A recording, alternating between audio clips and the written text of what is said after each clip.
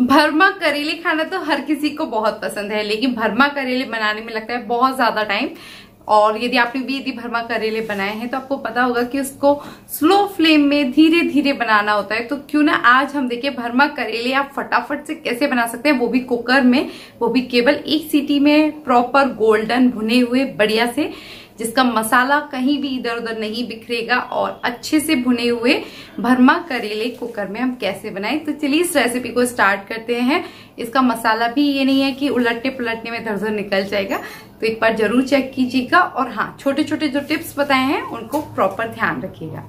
तो बिना उल्टे पुलटे कुकर में फटाफट से बनाते हैं भरमा करेले, जो बहुत ही टेस्टी होंगे और अच्छे भी लगेंगे आपको। आपका मसाला भी इधर उधर गिरने की कोई टेंशन नहीं है। तो सबसे पहले करेलों को धोकर हमने इनकी दोनों साइड जो घुंडी होती है, उसको निकाल दिया है। और अब मैं इन करेलों को छील लूँगी। तो इसके छिलके को हम फेंकेंगे नहीं तो इसको भी आप इसी तरह से रख लीजिए।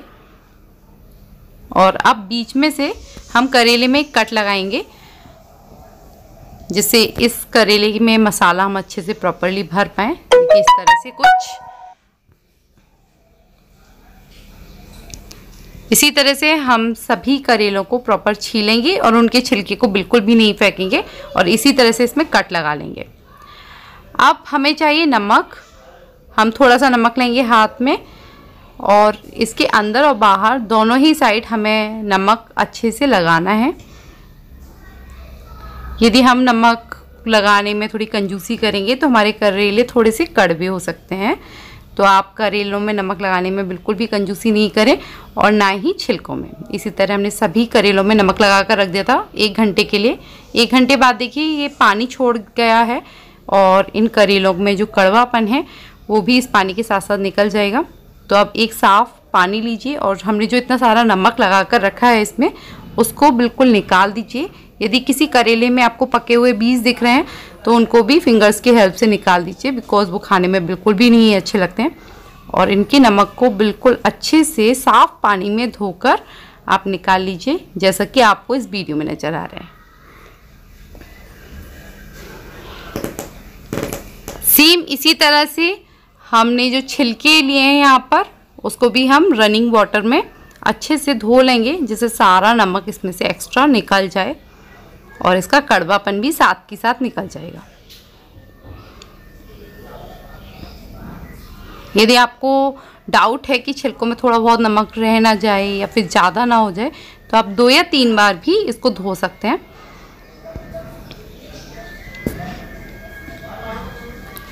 तो ये देखिए, हमारे छिलके भी रेडी हो चुके हैं और करेले भी रेडी हो चुके हैं। तो अब फटाफट से इसका मसाला रेडी करते हैं। मसाले के लिए यहाँ पर मैंने लिया है एक मिक्सी का जार, जिसमें मैंने ये छिलकों को डाला हुआ है। और इसी के साथ यहाँ पर मेरे पास है ये कच्ची आमी, जिसको मैंने प्रिजर्व करके रखा हुआ है। अदरवाइज़ आप मार्केट से कच्ची आमी ले लीजिए। कच्ची आमी यदि आपके पास वैसे नहीं है तो आप इसकी जगह खटाई का यूज़ भी कर सकते हैं। उसके बाद हमने डाला है यहाँ पर चुटकी भर हींग, थोड़ा सा जीरा थोड़ा सा धनिया पाउडर। धनिया पाउडर हम यहाँ पर थोड़ा ज़्यादा डालेंगे तो मैंने तीन चम्मच धनिया पाउडर और तीन चम्मच सौंफ का पाउडर डाला है और थोड़ा सा लाल मिर्ची का पाउडर और थोड़ा सा हल्दी पाउडर।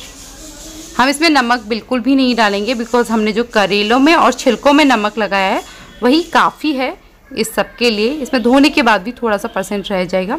अब देखिए, ये मैंने पीस लिए हैं और थोड़ा सा भी इसमें लगभग एक डेढ़ चम्मच पानी डालकर और पीस लिया है। इसमें ज़्यादा पानी नहीं जाएगा मसाले में, सिर्फ़ एक चम्मच या डेढ़ चम्मच जिसमें आपका मसाला प्रॉपरली पिस जाए। अब हम खूब सारा मसाला ले लेकर इन करेलों में फिल कर देंगे। ये देखिए, मैं पूरी चम्मच भर कर मसाला फिल कर रही हूँ इसमें। तो इसी तरह से हमने सभी करेलों को फिल कर लिया है। और कुकर में हम डाल रहे हैं यहाँ पर लगभग तीन चम्मच तो यहाँ पर मैंने सरसों का तेल लिया है और वो भी तीन बड़े चम्मच लिया है बिकॉज़ करेले में जब तक आप तेल प्रॉपर नहीं रखेंगे, उनका टेस्ट अच्छा नहीं आएगा। और उसमें मैंने सीधे सीधे करेले रख दिए हैं सारे के सारे कुकर में। तेल मैंने पहले पका लिया था, और उसके बाद थोड़ा ठंडा कर लिया, उसके बाद ही इसमें थोड़ी सी हींग डालकर तेल में इन करेलों को रख दिया है। और जो एक्स्ट्रा मसाला बचा है, उसको भी इन करेलों के ऊपर डाल दिया है। अब देखिए, मैंने इसमें पानी भी नहीं डाला है बिकॉज़ हमने करेले पानी से धोए थे तो पानी की क्वांटिटी है इसमें। तेल भी थोड़ा ज़्यादा है और इसके बाद हमने मसाला भी पीसा था। अब इसमें हम क्या करेंगे, जैसे ही हमारी सीटी थोड़ी सी भर जाएगी, देखिए इसमें सीटी भरने लगी है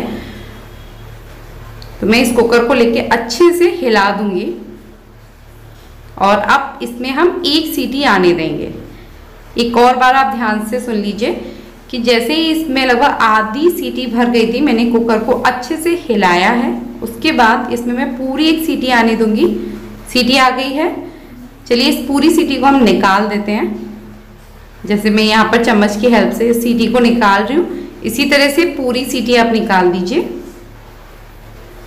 और खोल कर देख लेते हैं कि कैसे हैं हमारे करेले। तो ये देखिए, बढ़िया से गोल्डन हो चुके हैं और मसाला भी अच्छा सा हो गया है। मैं आपको कैमरे को एकदम करेले के ऊपर ले जाकर भी दिखाऊँगी अभी। थोड़ा ये यहाँ लाइट का रिफ्लेक्शन आ रहा है, जिसकी वजह से इसका कलर प्रॉपर नहीं दिख रहा है। और मैं अभी आपको का तोड़ कर दिखा देती हूँ कि ये अच्छे से गले हैं या नहीं गले। ये देखिए, कितने बढ़िया तरीके से गल चुके हैं। और अब मैं आपको एकदम बिल्कुल ऊपर कैमरा दिखाती हूँ इसका, कि इसका कलर कितना बढ़िया गोल्डन आया है। अब हम क्या करेंगे? वैसे तो ये अभी प्रॉपर गोल्डन हो गए हैं, पक भी गए हैं, लेकिन अभी इसमें भुनने वाला टेस्ट नहीं आया है।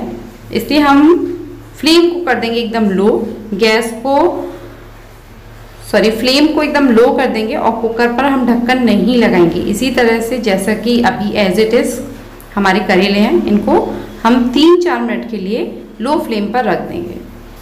और ये देखिए, तीन चार मिनट के बाद ही हमारे करेले प्रॉपरली भुन गए हैं। आगे पीछे दोनों साइड से मैं आपको दिखा रही हूँ। और इतनी बढ़िया गोल्डन करेले हमारे इतनी जल्दी बिना कढ़ाई में मसाला बिखरे हुए तैयार हैं।